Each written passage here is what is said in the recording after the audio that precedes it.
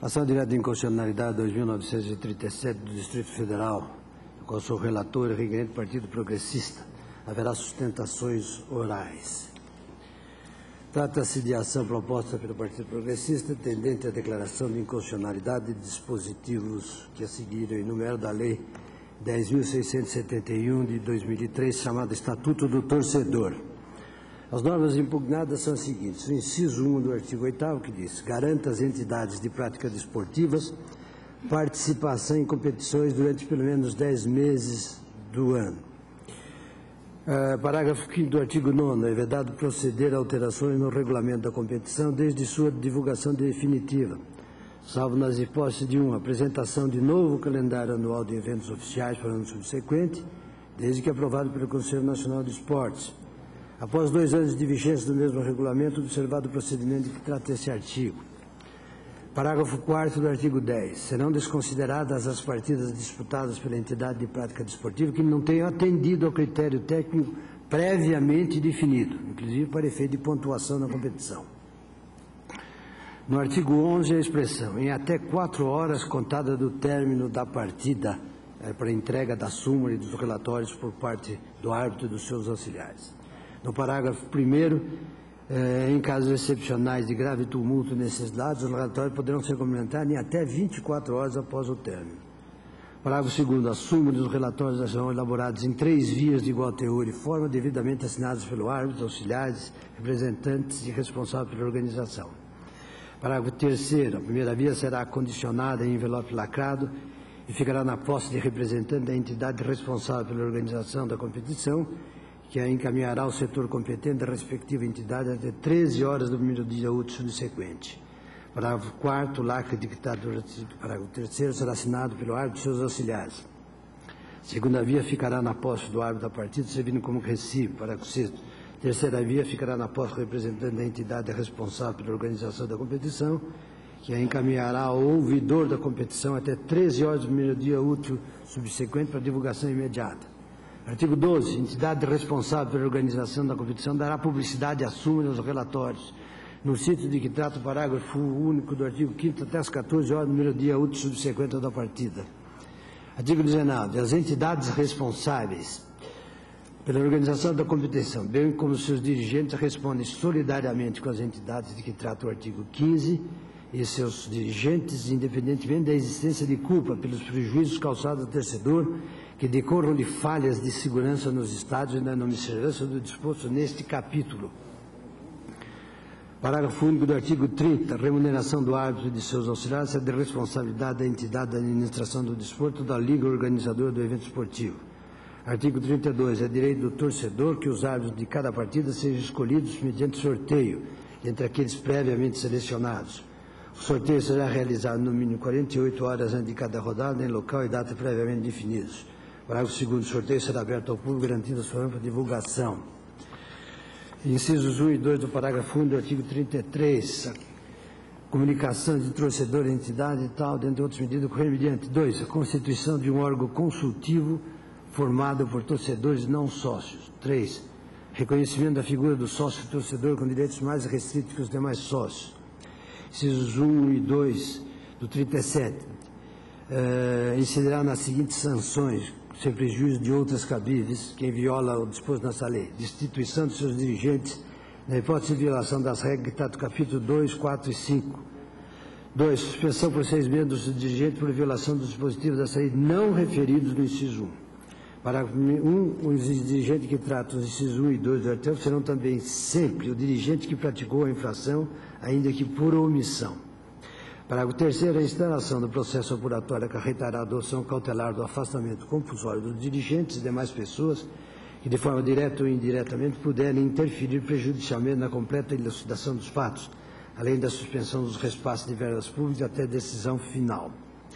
Alega o autor que os dispositivos impugnados e lidos agora contrariam o artigo 5 incisos 10, 17, 18, 54, 55 e 57, parágrafo 2 o de artigo 18 capto, 24 inciso 9 parágrafo 1 por fim 217, um todos da Constituição da República. Expõe os fundamentos a seguir sintetizados para sustentar a contrariedade dos preceitos impugnados. extravasamento da competência legislativa da União em matéria de desporto. Estou abreviando a leitura do relatório, que Vossa Excelência já tem conhecimento. De respeito à dimensão jurídica constitucional da autonomia desportiva assegurada no artigo 217, inciso 1. É, aqui há uma longa digressão da, na petição inicial sobre esse item. Terceiro, previsão indevida de dupla sanção nos artigos 19 e 37 do Estatuto, com afronta às normas já citadas. É, e questionamento da penalidade atinente à responsabilidade solidária em caso de prejuízo ao torcedor decorrente de falhas da segurança. O artigo 37 do Estatuto estabeleceria sanções que não são razoáveis, violando o postulado do devido processo legal. O autor pretende, por final, o recebimento e processamento da ação para ser julgada procedente. Houve pedido de eliminar na audita ita parte, foi determinada pelo então presidente Maurício Correia aplicação do artigo 12 da Lei 9868. O presidente da República apresentou informações elaboradas pela Advocacia Geral da União, com apoio em pronunciamento da Consultoria Jurídica do Ministério dos Esportes, na qual defende a improcedência do pedido em larga fundamentação. O Congresso Nacional enviou informações elaboradas pela Advocacia do Senado, também sustentando a improcedência da ação as entidades que eu discrimino aqui, Havaí Futebol Clube, etc., etc., requereram admissão no feito da qualidade de amicus curi, mas em razão da ocorrência da preclusão consumativa em diferir os pedidos. A AGU manifestou-se reiterando as informações apresentadas pela Presidência da República no sentido da improcedência. A douta Procuradoria-Geral da República também opinou pela improcedência da ação. Este é o sucinto relatório. Pelo requerente, Partido Progressista, falará o Dr. Vladimir Sérgio Reale.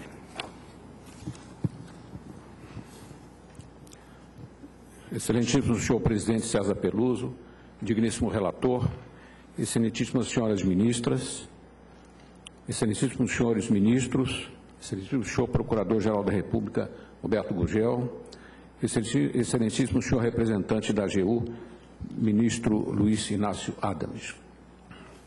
Partido Progressista ajuizou em 17 de julho de 2003 a presente ação, onde demonstrou a saciedade que certos dispositivos da Lei 10671 eh, contêm diversos vícios de inconstitucionalidade. O referido estatuto, e não obstante conter alguns preceitos que afrontam a Constituição Federal, veio a disciplinar a relação entre torcedor, entidades de prática, clubes e entidades de administração do desporto federações e confederações, vindo a estabelecer todos os vínculos dessa relação e mais, caso não exista qualquer capitulação a respeito da referida relação de consumo no texto do Estatuto Torcedor, devemos reportar ao Código de Defesa do Consumidor subsidiariamente.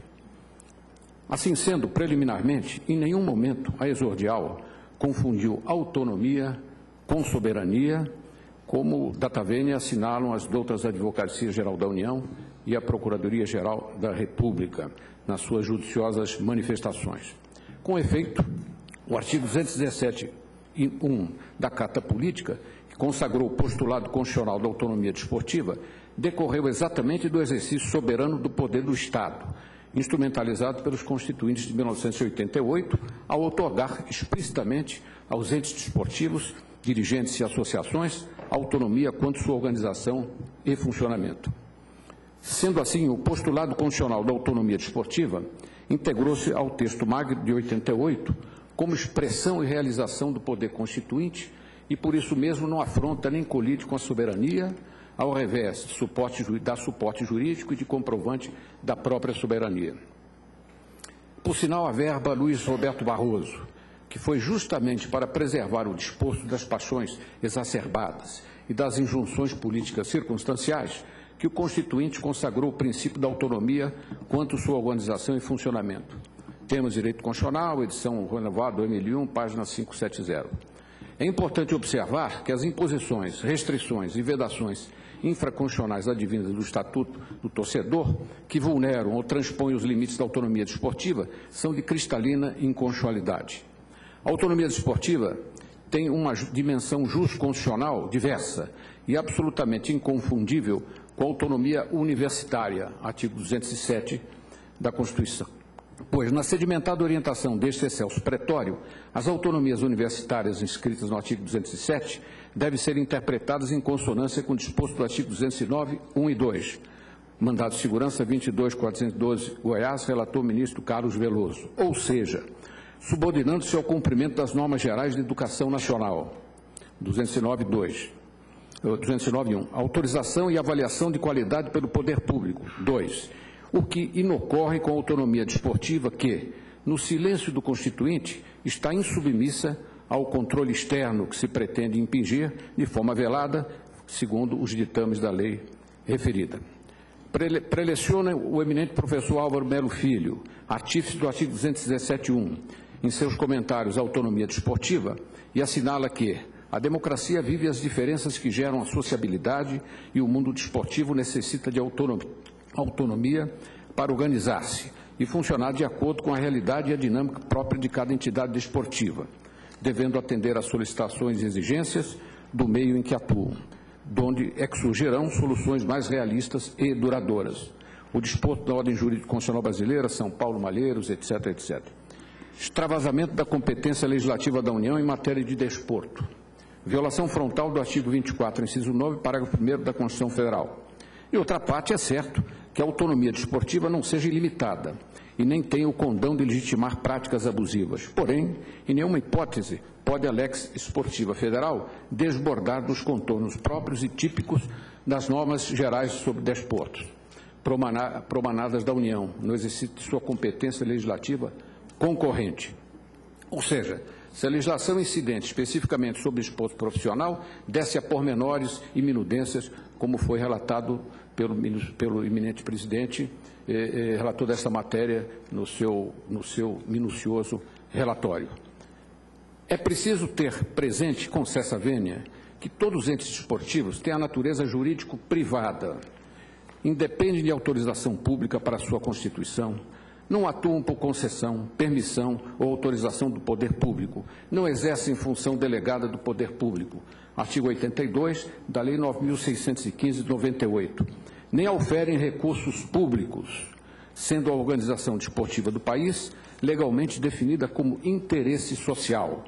Artigo 4 parágrafo 2 da Lei 9615 de 98 diferentemente, por exemplo, das instituições financeiras e das instituições educacionais que se categorizam como interesse público. Aduza-se que não há por que confundir interesse público e interesse do público. Ademais, lembre-se que o interesse social é um conceito diverso de interesse público, até porque o legislador constituinte não fez nem faz uso de sinonímia, consoante se deflui do parágrafo 2 do artigo 84, interesse social, e, para, e do parágrafo 6 do artigo 231, interesse público da Lex Magna. De mais a mais, é palmar que não há nenhum ente público de prática desportiva, enquanto são muitos os bancos, escolas, universidades públicas, etc., etc., etc. Portanto, o, o, o, afastamento compulsório, suspensão, destituição, enfim, a par de tornar cogentes normas específicas sobre desporto e não normas gerais, sem correlação ou vinculação com os direitos dos torcedores, enquanto consumidores, Tais dispositivos exemplificados do Estatuto de Defesa do Torcedor implicam na esfera constitucional, ora intervenção estatal no funcionamento de associações privadas, artigo 5º 18, ora em desrespeito à autonomia desportiva, artigo 217, inciso 1 ora em tolerar a liberdade de associação, artigo 5º, inciso 17. Nessa ordem de ideias, não é demais realçar que, por força do caput do artigo 217 do Estatuto Supremo, a obrigação, o dever do Estado é fomentar as práticas esportivas formais e não formais, e não fazer tábula rasa de postulados constitucionais. Quanto às penalidades previstas no artigo 37, 1 e 2, para o primeiro e terceiro, além de não gerar qualquer ganho ou benefício para o torcedor, os apenados são dirigentes com afastamento compulsório, suspensão por seis meses, destituição, não há observância do devido processo legal que aplica-se por expressa imposição constitucional aos procedimentos administrativos. Constituição Federal, artigo 5 inciso 54, em qualquer caso. RE 199800. São Paulo, relator ministro Carlos Veloso.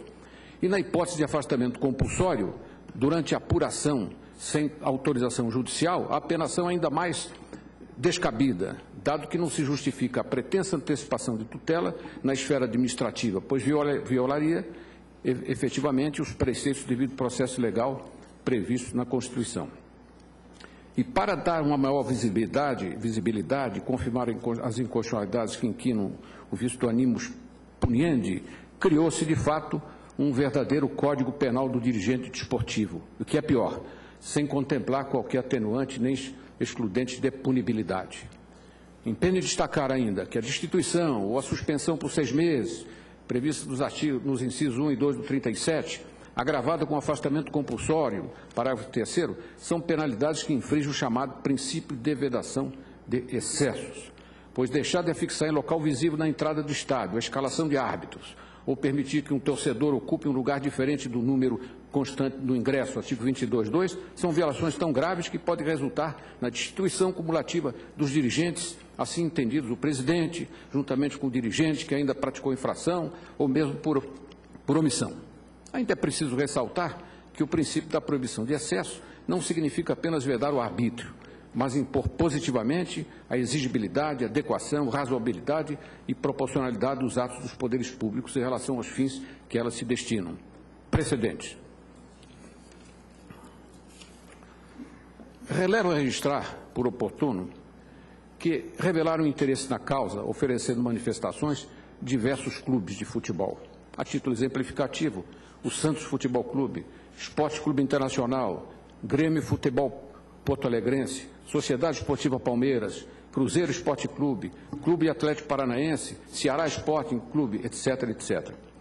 Com essas brevíssimas considerações e ressaltando a extrema e transcendente importância jurídica e política de que se reveste esse julgamento para o desporto profissional brasileiro, especialmente para o futebol profissional, expressivo fator de afirmação do Brasil, país que sediará a próxima Copa do Mundo, além de outros eventos internacionais, impõe-se data vênia, declarar a inconstitucionalidade dos dispositivos da Lei 10.671, transcritos e impugnados exaustivamente na presente ADI. O autor roga, sobretudo, que o pretório excelso não impeça o direito de autodeterminação e a liberdade associativa das entidades desportivas assegurados na lei das leis, conquanto desvestidas de qualquer atributo de estatalidade, nem possibilite uma aplicação no ponto desse ato normativo intervencionista e autoritário, que hoje corresponde a um inequívoco e estranho controle externo dos entes privados, dirigentes e dirigidos do desporto profissional. Destarte, ratificando as razões apresentadas na propositura da ação, o partido autor espera e confia, outro sim, que, havendo na espécie o procedimento abreviado, o Colente Supremo Tribunal Federal julgue definitivamente procedente os dispositivos impugnados da presente ação concentrada. Muito obrigado. Pela Advocacia Geral da União, falar o ministro Luiz Inácio do Senado, advogado Geraldão. Sentir, senhor presidente, César Peluso, sentir, senhoras ministras, senhores ministros, senhor procurador-geral da República, senhor advogado que antecedeu, doutor Reale. O texto e ação que se debate aqui hoje trata de um tema de alta relevância no Brasil, ainda mais considerando a proximidade da Copa. E antes disso, a proximidade da Copa das Confederações, a qual nós estamos distante um ano. E o debate, ele é, lida com uma lei que corresponde a uma das duas grandes leis que regula, regulam o processo é, de esporte no Brasil. A primeira, a Lei 9.615, a Lei Pelé, e a atual 10.000 671, que é a lei do Estatuto Defesa do Estatuto do Estatuto Defesa do Torcedor. E é este o objetivo da, central da lei: criar uma defesa ao torcedor, a criar parâmetros, criar proteções à presença do torcedor nos nossos estádios. E essa lei, ela se objetiva e ela foca não todo o desporto, mas o desporto profissional aquele disposto remunerado e comercializado na sociedade brasileira. Os senhores têm uma ideia, senhores senhores ministros, que o, o, o, volume de recursos hoje que a prática esportiva movimenta no Brasil já corresponde a 2% do nosso PIB, ou seja, 100 bilhões de reais por ano são, em média, movimentados no desporto profissional, fundamentalmente no futebol. Então, é nesse contexto em que há o incremento da atividade esportiva e que há a necessidade de proteger e garantir a presença do torcedor no nosso estádio, é que se busca, buscou o Congresso Nacional, a implementação dessa lei. Não é no outro sentido que, então, o deputado, então relator Gilmar Machado, expressamente diz o desrespeito ao cidadão torcedor, elemento fundamental para o torcedor esse, que é o elemento fundamental para a sobrevivência e desenvolvimento do esporte nacional, tem sido frequentemente, tem sido frequente nas competições esportivas nacionais. Tal desrespeito vai desde a falta de transparência no estabelecimento das regras das competições a questões envolvendo a segurança e saúdes públicas. E mais adiante ele vai desenvolvendo. Citando vários exemplos, como a, a taça de uma avalanche ou de uma briga e quebra parte alambrado provocaram um acidente que deixou vários torcedores feridos. Nós lembramos recentemente o envolvimento que a paixão do futebol envolve, no caso do Egito, em que 74 pessoas sofreram com aquele violento muita briga entre os torcedores. E grande parte dessa motivação estabelece exatamente da, ausência ou da falta de transparência das regras que orientam a prática esportiva profissional no Brasil. E é isso que a lei vem tratar. A lei, ela não vem buscar, como se pretende na argumentação, violar a livre associação. Ela não entra regula a associação, a organização da entidade esportiva. Ela regula a organização da prática desportiva. Ela, ela regula a forma como deve ser minimamente organizado o uh, Uh, futebol e as outras práticas esportivas profissionais, criando daí responsabilidades para os dirigentes que os tornem uh, passíveis de eh, responsabilização em face de danos causados aos torcedores. É nesse sentido, por exemplo, que o artigo 19 vem. Ele não cria uma sanção, ele cria um dever de indenização. Ele cria uma regra civil de, de indenização objetiva para aqueles dirigentes que causaram, por ação ou omissão, o dano ao torcedor. A regra de sanção sim existe mais adiante, no 37, quando cria um processo e não é é, afastando o devido processo legal, a própria regra assim exige que seja observado no processo é, administrativo que vai ser apurado junto ao Tribunal de Justiça Esportiva, mas criam regras objetivas de apuração dessa responsabilidade, inclusive permitindo o afastamento cautelar, não em qualquer hipótese, mas naquelas hipóteses em que a presença do dirigente venha a prejudicar a próprio processamento daquela investigação.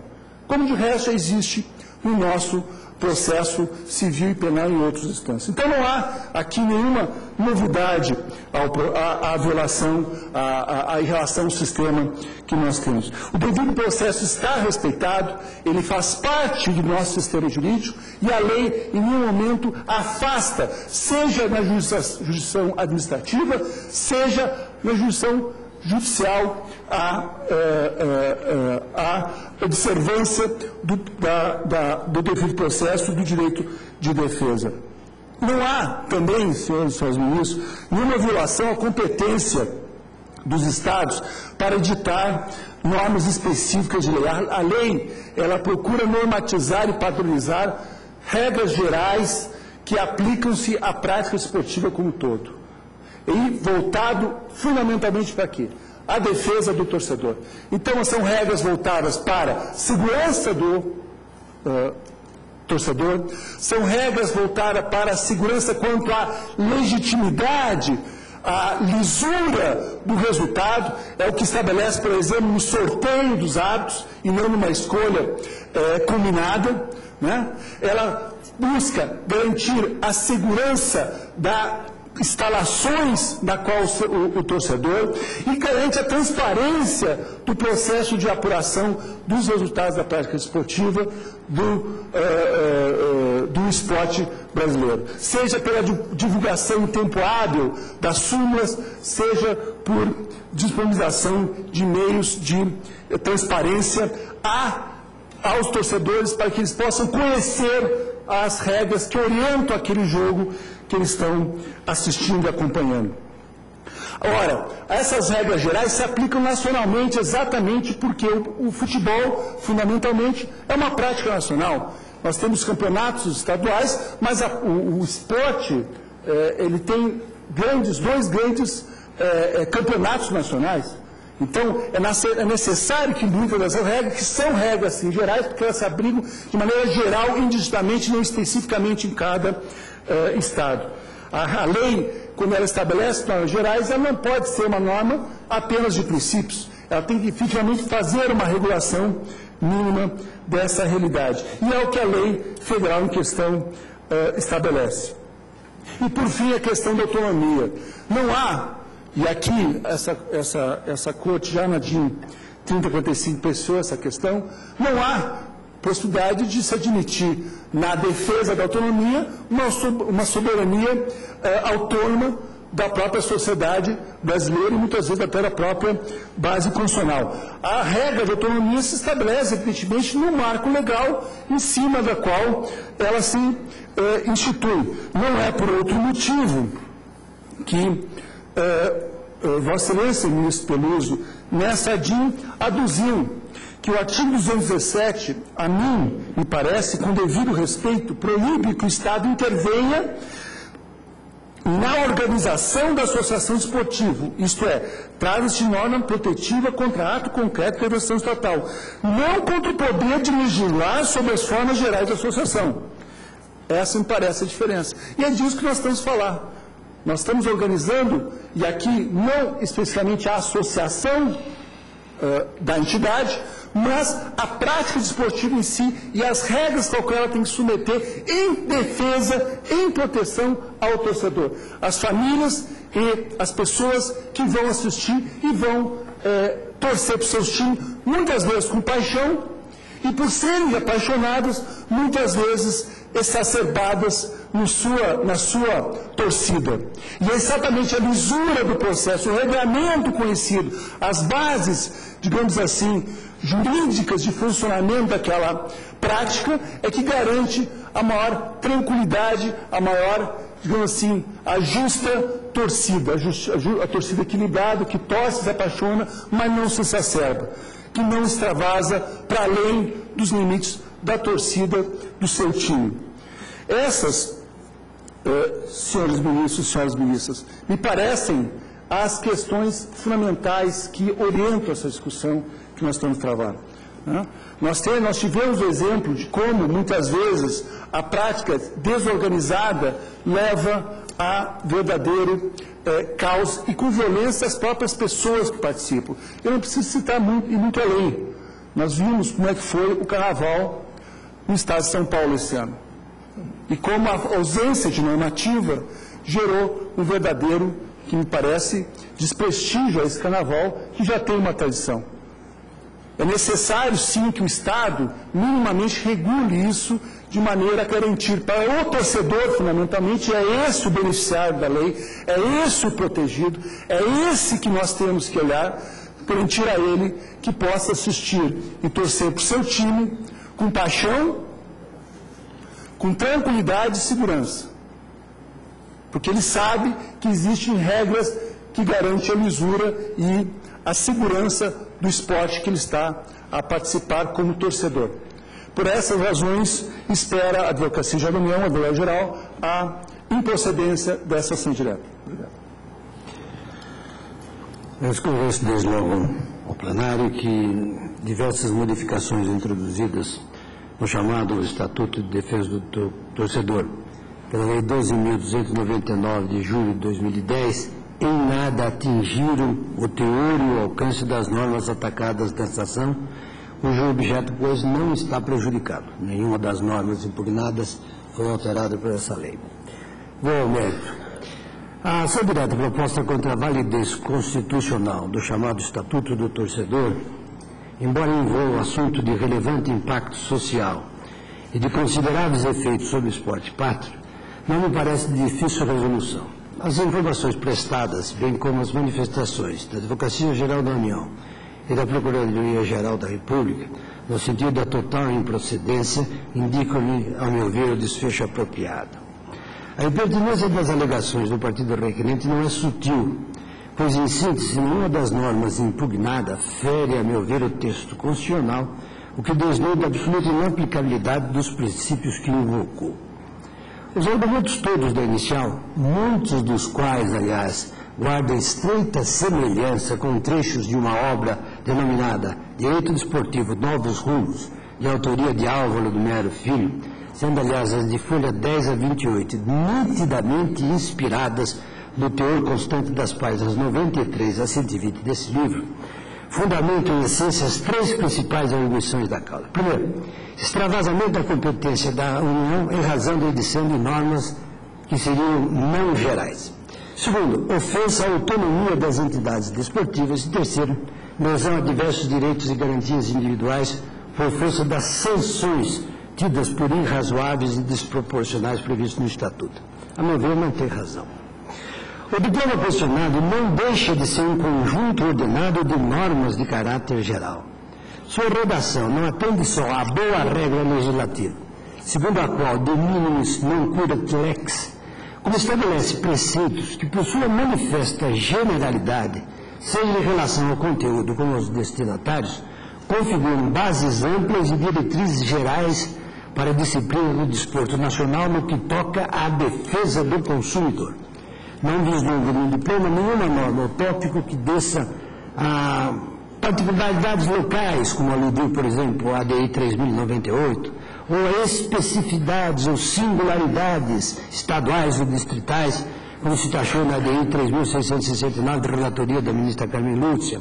A lei não cuida de particularidades nem de minudências que pudessem estar reservadas à dita competência estadual concorrente não cumulativo suplementar do artigo 24, parágrafo 2 da Constituição. A União exerceu a competência estatuída no inciso 9 desse artigo, sem dela desbordar, adstringindo-se a regular genericamente a matéria. É muito evidente, por outro lado, que as normas gerais expedidas não poderiam reduzir-se exclusivamente a princípios gerais, sob pena de completa inocuidade prática. Tais normas não se despiram, em nenhum de seu aspecto, da sua vocação genérica, nem correram o risco de se transformar em simples recomendações. Introduziram diretrizes, orientações e até regras de procedimento, todas de cunho geral, diante da impossibilidade de se estruturar normativamente o subsistema jurídico desportivo apenas com apoio em princípios. Nesse passo cabe uma observação adicional. As competições esportivas são, por natureza, eventos fortemente dependentes da observância de regras, designadamente as do jogo.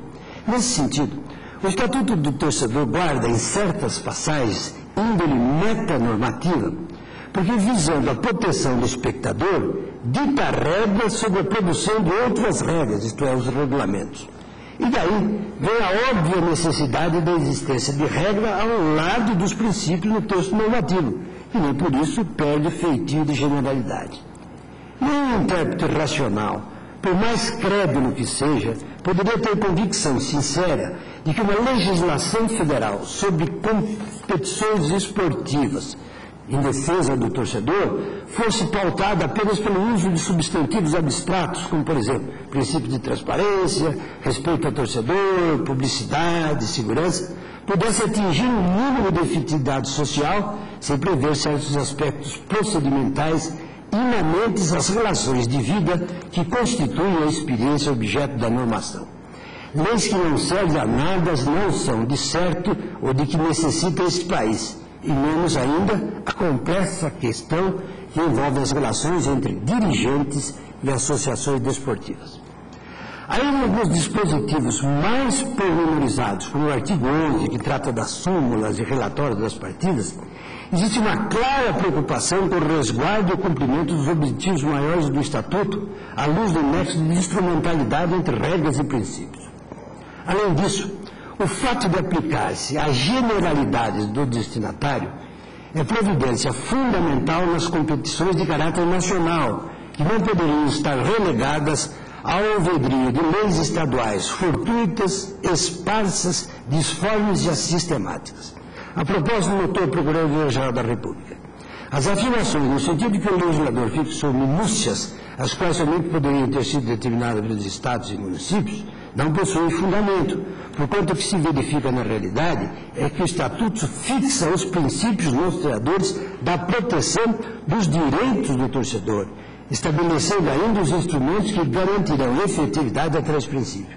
Caso a União não estabelecesse desde já os meios que garantem a concretização dos princípios consagrados no diploma legal, estes poderiam permanecer no mundo da abstração, tornando o Estatuto do Torcedor um mero rol de dispositivos normativos destituídos de força cogente. Digo, ademais, embora possa ter inspiração pré-jurídica e característica do futebol, de certo modo, o esporte mais popular e que movimenta as maiores cifras no planeta, aplica-se o Estatuto às mais variadas modalidades esportivas, como consta do artigo 2 tanto do dos torcedores quanto das entidades que as promovam, sem prejuízo das particularidades de cada qual. Deve-se ressaltar, depois, que a Lei 10.671 se destina a reger ações apenas no plano do desporto profissional, circunstância que o autor parece tomar como fonte de sua suposta não generalidade. É a própria Constituição da República, no entanto, que impõe essa distinção ao exigir, no artigo 217, número 3, o tratamento diferenciado para o desporto profissional e o não profissional. O discrimínio na regulação, portanto, é mais que legítimo, já que encontra amparo no texto mesmo da Constituição, sem que as normas voltadas ao mero campo profissional deixem de estar, nesse âmbito de incidência, revestidas de generalidade. No que tange à autonomia das entidades desportivas, ao direito de livre associação e à não intervenção estatal, tampouco me parece ser razão requerente. Seria até desnecessário a respeito, mas fácil por excesso de zelo, relembrar, a despeito da divergência do ilustre ministro Carlos Brito, a velhice maturada lição de que nenhum direito garantia ou prerrogativa ostenta caráter absoluto. Mas nem seria o caso de invocá-la, porque aqui, evidentemente, a norma sobre a autonomia das associações não, é um caráter, não tem caráter absoluto em nenhuma circunstância. Tem-se a alegação de ofensa aos incisos 17 e 18 do artigo 5 da Constituição, sobre a desavisada asserção de que verbes, a autonomia desportiva, diferentemente da mencionada autonomia universitária, não tem qualquer condicionante nos princípios e normas da Carta Política, do mesmo modo que não existe qualquer limitação esculpida no corpo normativo da Constituição. Penso se deva conceber o esporte como direito individual, não se assegurando viável interpretar o caput do artigo 17, que consagra textualmente o direito de cada um ao esporte, à margem com abstração no inciso 1, onde consta a autonomia das entidades esportivas. Ora, na medida em que se define e compreende como objeto de direito do cidadão, o esporte emerge aí com nitidez na condição de bem jurídico protegido pelo ordenamento, em relação ao qual a autonomia das entidades é mero instrumento ou meio de concretização, que, como tal, se sujeita àquele primado normativo, ou seja, do direito individual ao esporte. A previsão do direito ao esporte é um preceito fundador, em vista de cuja realização histórica se justifica a autonomia das entidades, dirigentes e associações quanto à sua organização e funcionamento. Logo, é imprescindível ter-se em conta, na análise das cláusulas impugnadas, a legitimidade da imposição de limitações a essa autonomia desportiva não como sustento requerente, em razão da submissão dela à legislação infraconstitucional, mas como exigência do prestígio e garantia do direito ao desporto constitucionalmente reconhecido no 17 capos, 217 capos. O esporte é, aliás, um dentre vários e relevantes direitos em jogo. As disposições do Estatuto homenageiam, entre outras coisas, o direito do cidadão à vida, a integridade e incoluidade física e moral inerentes à dignidade da pessoa humana, a defesa de sua condição de consumidor, ao lazer e à segurança. Não me impressionam, por isso, os argumentos ad desfiados, segundo os quais muitos incidentes lamentares, obriga em estádios, violência, morte e barbárie entre torcidas, decorreriam da vigência do Estatuto. Esta inconcebível relação de causalidade é expressamente sugerida pelo recorrente, que releva ao pedido de urgência no julgamento do feito versus os tumultos e incertezas que as normas impugnadas vêm causando ao esporto nacional. Parece até fazer crer que os torcedores se revoltam contra a maior transparência das competições ou com a possibilidade de maus dirigentes serem punidos entrando por consequência a agir de maneira violenta nas praças esportivas. Trata-se de um absurdo que o transcurso do tempo só avigorou. O Estatuto está em vigor desde 2003.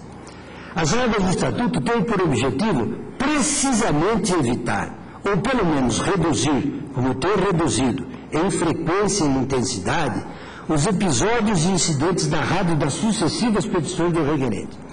Sua adoção e observância estritas, ao contrário do que se aduz sobre a típica falácia post hoc, ergo propter hoc, não são nem nunca foram causa de tais problemas, senão um exemplo frisante de legítimo esforço para os conjurar. E é bom não esquecer que, se ainda com todas as medidas arbitradas no Estatuto e postas já em prática durante todos esses anos, os problemas não foram de todo extintos, de certo, mais caótica e preocupante seria a situação se o diploma não estivesse em vigor. De todo modo, no que concerne a um alegado desrespeito a direitos e garantias individuais, anoto que, sob não se revestir de caráter absoluto, não encontro sequer vestígio de ofensa aos incisos 10, que trata da intimidade, honra e imagem dos dirigentes, 54, devido ao processo legal, aliás, textualmente invocado no caput do artigo 37 do Estatuto. No 55, contraditório antes defesa, também compreendido no devido processo legal. No 57, parágrafo 2, proibição de prévia consideração de culpabilidade, todos do artigo 5 da Constituição. A responsabilização objetiva prevista no artigo 19 é consectário da textual equiparação das entidades desportivas, conceito disposto no artigo 3 do Estatuto, à figura do fornecedor no Código de Defesa do Consumidor. Tal equiparação não é apenas obra da lei, mas conclusão necessária da relação jurídica que enlaça os eventos desportivos profissionais e os torcedores. Fere qualquer conceito de justiça, a meu sentir, imaginar que uma pequena lavanderia possa ser responsabilizada quando cause dano ao cliente, mas organizadores de eventos milionários, de grande repercussão, com público gigantesco, e que se mantém graças à paixão dos torcedores, que pagam pelo ingresso e pelos produtos associados, já não suportam nenhuma responsabilidade sob pretexto de se não enquadrarem num conceito na classe dos fornecedores. Eu abro um parênteses aqui para um breve comentário a esse respeito, de que, na verdade, o, a responsabilidade solidária dos diligentes é um dos casos de desconsideração da personalidade jurídica, tal como, aliás, está no Código de Defesa do Consumidor, no artigo 28 caput e no seu parágrafo 5 Isto é, pode ser, e de certo modo ou é, uma medida dura, mas, a meu ver, sem ofensa a nenhum princípio ou regra constitucional.